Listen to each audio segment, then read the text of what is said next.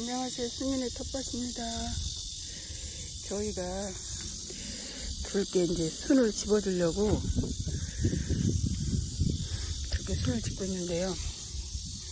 먼저 놨던 것을 그냥 놔뒀거든요.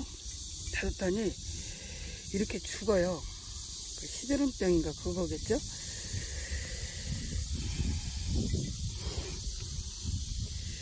그래서 제때 심어야 되는 거, 되는 거가 봐요.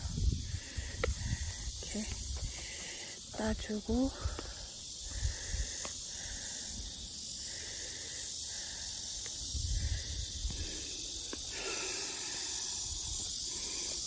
얘는 왜 시들었어?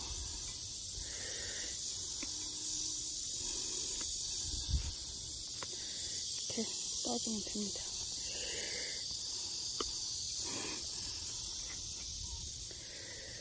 여기는 그늘져가지고 감나무가 있어서 그늘져가지고.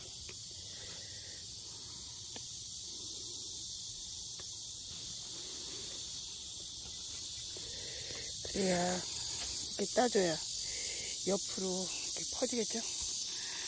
근데 얘들은 그, 그 언젠가는 이거를 이렇게 놔뒀더니 너무 튼실하게 잘 열려서 여보 이번에 난 거는 그냥 말고 놔두자. 그래서 놔뒀더니 다 시드름병에 걸려서 시들시들해가지고 죽고 있네요.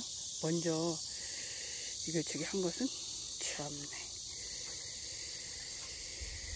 아이 어쩔 수 없죠 뭐.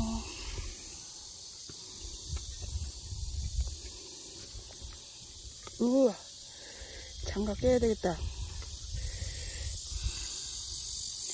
이렇게 따주겠습니다. 그래야 많이 벌어져, 벌어지게 가지가 나와서 들기가 많이 열리겠죠? 감사합니다.